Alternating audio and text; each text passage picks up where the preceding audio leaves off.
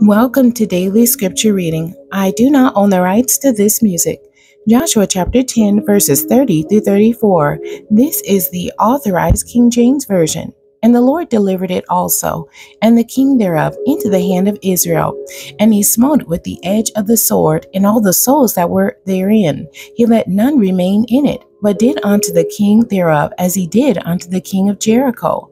And Joshua passed from Libnah, and all Israel with him, unto Lachish, and encamped against it, and fought against it.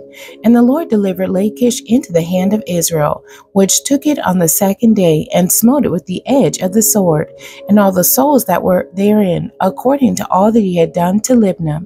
Then Horam, king of Gezer, came up to help Lachish, and Joshua smote him and his people until he had left him none remaining.